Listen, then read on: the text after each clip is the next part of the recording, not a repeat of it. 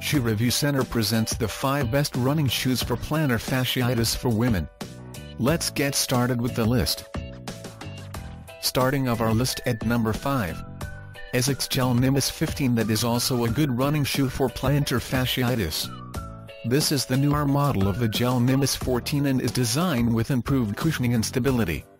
This shoe has a flexible forefoot with extra GEL cushioning and deep flex grooves, which provides fast transitioning from heel to toe. With all that cushioning the Nimbus 15 is perfect for plantar fasciitis runners and is well suited for everyday training and long runs.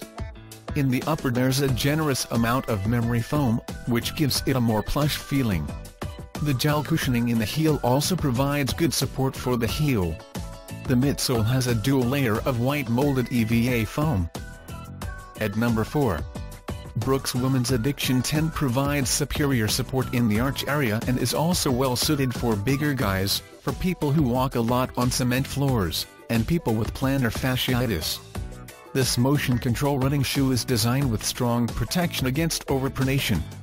The Brooks Addiction 10 running shoe provides cushioning with the two comfort layers DNA cushioning and the BioMoGo material that is fitted through the entire midsole.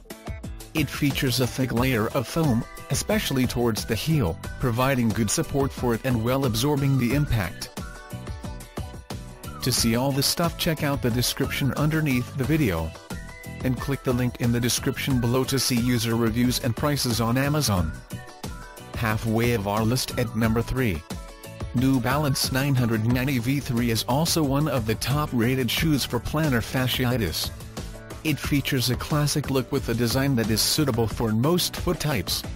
This athletic shoe offers a lighter weight, good shock absorption, great support, and cushioning. The forefoot features a blown rubber that provides lightweight cushioning.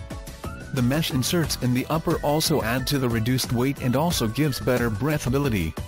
The dual-density collar consists of the firmer density foam for support and softer density foam for cushioning. So the foot feels stable, but at the same time well cushioned heel, providing good support for it and well absorbing the impact. At number 2. Mizuno Wave Alchemy 12 is also a good running shoe for plantar fasciitis caused by overpronation. It's just as good for walking if you have plantar fasciitis or heel spurs. It features a flat midsole, wider base, high support for the heel. All this delivers the structure perfect for serious overpronators and heavy runners. This is a motion control running shoe that is stable, comfortable, and provides a corrective effect for your feet.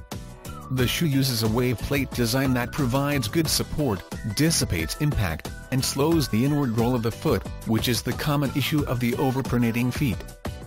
And coming in at number 1 of our list, with the Saucony Guide 7 you get great forefoot comfort, good support and stability, as well as super durability.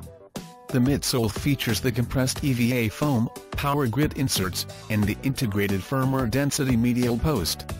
The firmer midsole is firm, but not hard and aids to providing a good level of stability.